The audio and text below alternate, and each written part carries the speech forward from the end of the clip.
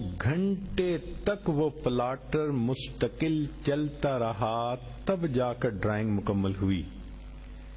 अब इस नौ घंटे में हमने खाना भी खाया, नमाजें भी पढ़ी, चाय भी पी, बातें भी की। जब आते प्लाटर चल रहा है, जब आते प्लाटर चल रहा है। तो मेरे साथी कहने लगे कि हज़रत, नौ घंटे से नॉन स्टॉप ये प्लाटर चल रहा है, इसने तो हमें थका दिया। मैंने कहा, आपको थका दिया और मुझे एक मजमून इसने समझा दिया। कहने लगा, कौन सा? मैंने कहा कि नबी इस्लाम की हदीस है। अब्दुल्ला ने फरमाया कि जो शख्स ये कलमा पढ़े तो इसका सवाब इतना ज़्यादा कि फरिश्ते लिखते लिखते थक जाते हैं। और वो फिक्रा क्या है? या रब्बी लकल हमद कमा यम बगी लिल जलाल वजही का व अजीम सुल्तानी का इतना छोटा सा फिक्रा है। या रब्बी लकल हमद कमा यम बगी लिल जलाल वजही का व अजीम सुल्तानी का अब ये जो अमाल थे चार पाँच ये तो वो अमाल थे कि जिनके करने पर बहुत नेकियाँ मिलती हैं। इस जैसे और भी अहादीस आप ढूंढ सकती हैं अहादीस की किताबों में। हमने तो नमूने के तौर पे चंद अहादीस पेश कर दी। अब कभी कभी जहन के अंदर यह होता है कि मैं लोगों से दुआ करवाऊं। चुनाचे कोई माँ बाप से दुआ करवाता है,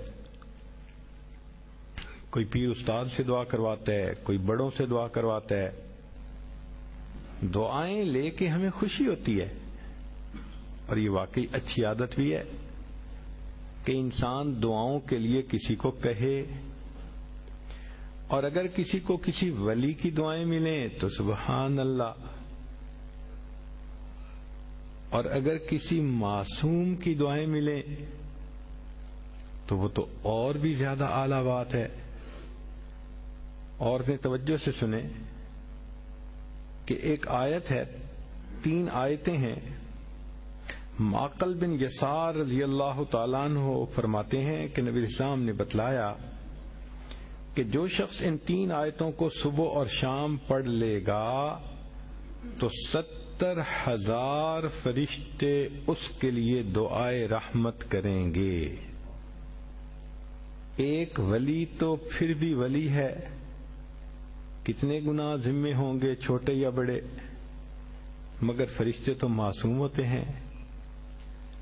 फरिश्ते उस बंदे के लिए सुबह शाम दुआ करते हैं। तो हदीस पाक में है कि जो शख्स सुबह को तीन आयात पढ़े तो शाम तक फरिश्ते सत्तर हज़ार फरिश्ते रहमत की दुआ पढ़ते हैं। और अगर शाम को पढ़े तो सुबह तक सत्तर हज़ार फरिश्ते दुआए रहमत करते हैं। और अगर उसी दिन उसका वो फौत हो जाए तो अल्लाह ताला उसको शहादत का रुतबा अता फरमाते हैं। अब ये तीन आयतें सुन लीजिए। इलाहा इल्लाहु व शहादति हुवर रहमानुर पहली आयत।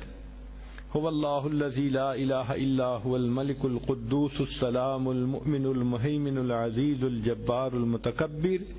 सुबहानल्लाहि अम्मा युशरिकून। ये दूसरी आयत। तीसरी आयत। हुवल्लाहुल खालिकुल बारिउल मुसव्विरुल लहुल अस्माउल हुस्ना युसबिहलहू माफि समावाति वल अर्ज़ वहुवल अजीजुल हकीम ये तीन आयतें जो बंदा सुबह पढ़े तो शाम तक सत्तर हज़ार फरिश्ते उसके लिए रहमत की दुआ करते हैं। और अगर उस दिन में फौत हो जाए तो शहीदों में उसका नाम शुमार कर लिया जाएगा। हमें तो चाहिए कि हम इस अमल को जुज्व ज़िंदगी बना लें। तीन आयतों को पढ़ना कौन सा मुश्किल काम है? और देखिए, अजल कितना बड़ा मिल रहा है। तो बच्चियाँ, औरतें कोशिश करें कि इन आयतों को रोज़ाना पढ़ के फरिश्तों को अपने लिए दुआ पे लगाए रखें। दिल की ये चाहत हो कि बस हर वक्त फरिश्ते मेरे लिए रहमत की दुआएँ करते रहे, मैं उनकी रहमत की दुआओं में रहूँ। ये भी होता है कि अल्लाह ताला हमारे गुनाहों को माफ़ कर दे।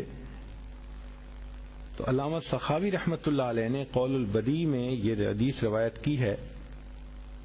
बुखारी शरीफ की रवायत है कि जो शख्स जुम्मा के दिन असर की नमाज़ पढ़ के अपनी जगह बैठा रहे और अस्सी मरतबा ये दरूज शरीफ पढ़े, अल्लाहुम्म सल्ली अला मुहम्मद नबी उम्मी व तस्लीमा। तो इसको अस्सी मरतबा पढ़ने पर अल्लाह अस्सी साल के गुनाहों को माफ़ फरमा देते हैं। अस्सी साल से मुराद पूरी ज़िंदगी के गुनाह माफ़। कितना सस्ता सौदा है। हर जुमे को ये अमल हम कर सकते हैं। बल्कि औरतों को चाहिए कि वो तो जुमा के दिन असर की नमाज़ के बाद सारी औरतें घर में इकट्ठी हो जाएँ, बच्चे भी इकट्ठे हो जाएँ। असर की नमाज़ पढ़ लें अपनी अपनी और फिर वहीं बैठे बैठे सब बच्चे, बच्चियाँ, औरतें, सब के सब अस्सी अस्सी मरतबा दरू शरीफ ये पढ़ें, फिर देखें अल्लाह ताला की तरफ़ से कैसे बरकतें उस घर में आती हैं। एक हदीस पाक में है, जो शख्स नमाज़ फजर से पहले तीन मरतबा ये कलमा पढ़े अल्लाह उसके गुना माफ़ कर देते हैं, अगरचे समुंदर की झाग के बराबर क्यों ना हो। और वो फिक्रा है अस्तफिरल्लाजी ला इलाहा इल्ला हुवल हय्युल कय्यूम व अतूब इलई अब यहाँ तक तो आपको आमाल बता दिए। नेकियाँ मिलती हैं, फरिश्तों की दुआएँ मिलती हैं, अस्सी साल के गुनाह माफ़ हो जाते हैं। समुंदर की झाग के बराबर गुनाह हो तो भी माफ़ हो जाते हैं। मगर कई मरतबा लोगों के काम अटके हुए होते हैं। रिश्ता आता है, दोबारा राबता नहीं करते। डील होती है, होते होते रुक जाती है। तो दोस्त अहबाब शिकवे करते हैं, जी हमारे काम पूरे नहीं होते, अटक जाते हैं। और फिर वो किसी के पास जाते हैं अमलियात वालों के पास। तो उनका तो चूँकि कारोबार है, उन्होंने पैसे कमाने होते हैं। तो वो सिंपल जवाब देते हैं, जी, किसी ने लगता है तुम्हारा रिस्क बाँध दिया है। किसी ने तुम्हारा रिश्ता बाँध दिया है और हम इसको बिलीव कर लेते हैं। भाई, अल्लाह किसी को देना चाहे तो कौन उसको बाँध सकता है? क्यों किसी को छोटा खुदा बनाते हो? कोई किसी का रिज्क नहीं बाँध सकता। कोई किसी का रिश्ता नहीं बाँध सकता। हमारा एक ही खुदा है। उसके काम को कोई रोक ही नहीं सकता। खा अपना अकीदा भी खराब।